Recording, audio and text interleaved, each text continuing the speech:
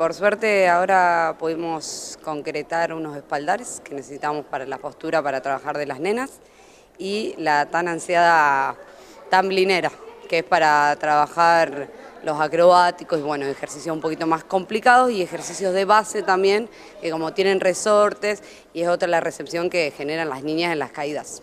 Bien, eh, es importante eh, recordar el camino que, tuvieron que recorrer para conseguirlos. Eh, ¿Qué tipo de, actividades han realizado? ¿Qué esfuerzo les llevó? Y bueno, en gimnasia artística es todo muy costoso, los materiales, desde las colchonetas, que tienen que tener una determinada densidad para recepcionar las caídas de las nenas, eh, hasta las vigas, que bueno, la verdad que fue largo el camino de estos cuatro años. Comenzamos con dos colchones de una plaza y ahora pudimos lograr eh, un montón de cosas, gracias a Dios, de cosas específicas de gimnasia.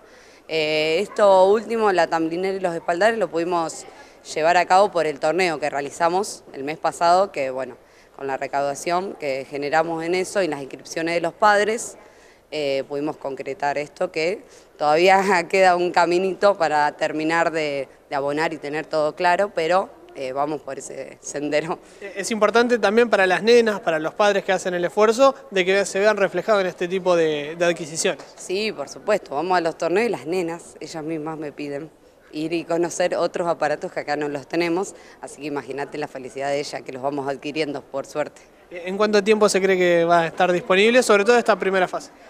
Y em, se va a estar concretada la tamblinera en un mes recién porque bueno, es un trabajo muy arduo para realizarla que, lleva FOAM, em, abajo tiene un fenólico que es una madera, tiene resortes, así que bueno, una labor media complicada para realizarla, pero ya se va a concretar pronto.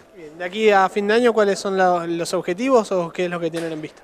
El 15 de septiembre tenemos otro torneo en la ciudad de San Lorenzo y después a fin de año, el 2 de diciembre, ya está la fecha pautada de la exhibición de fin de año.